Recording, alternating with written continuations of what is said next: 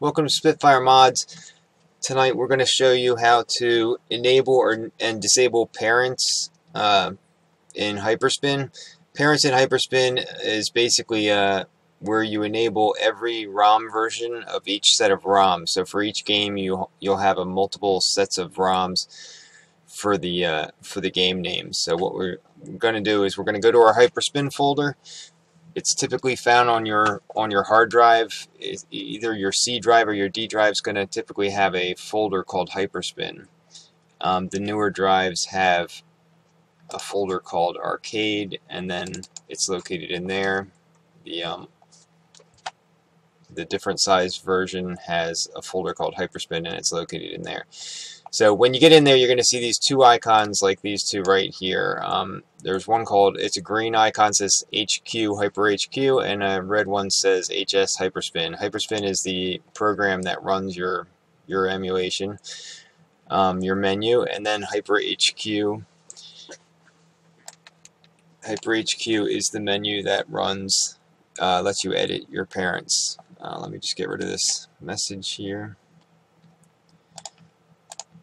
Alright, so we're going to run HyperHQ, the green one. Now, once HyperHQ is up here, we're going to go into our into our settings, and it's going to be um, it's going to be we're going to go into our wheel settings, and we're going to choose MAME, and then we're going to click on the uh, across this bar you're going to click on navigation themes. And in here you're going to see different options. One's clones use parent videos which is basically saying you have a sub uh, when you have multiple ROM versions you use the parent video for all the versions. And then you're also going to have um, you should probably have clones use parent themes turned on the uh, animate out default themes, reload backgrounds, that doesn't really need to be set. Um, now wheel filters. Under wheel filters, uh, you're going to have it filtered out and um, if you have the just the single ROMs for each set, you're going to have this checked. It's going to say parents only. So if you want to see all ROMs, you're going to uncheck that. And then when you uncheck that, you're going to you're going to exit out of here.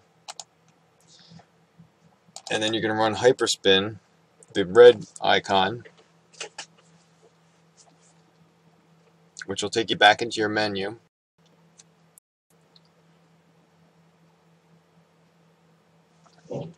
Take us back into our emulation menu, and then we're going to go into MAME.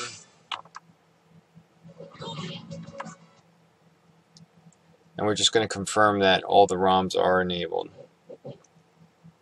Alright, so as we can see here, we already have two of the Magician Lord ROMs loaded and as we scroll through we'll see there's going to be you know there's going to be multiples of others right there. Magical magical crystals magical cat adventure magic sword. So as you can see the all the ROMs are now enabled. Um, the main reason for this is uh, sometimes the parent parent ROM might not be a ROM that actually works correctly. So to to get around that um, you know, if you're using the favorites,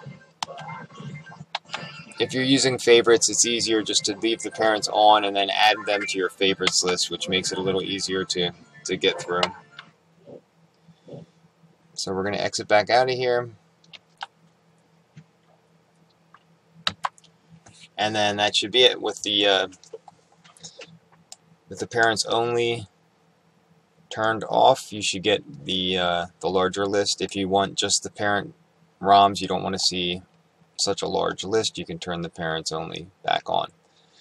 And that's basically it. That's how you uh, how you enable and disable your parents um, list in Hyperspin.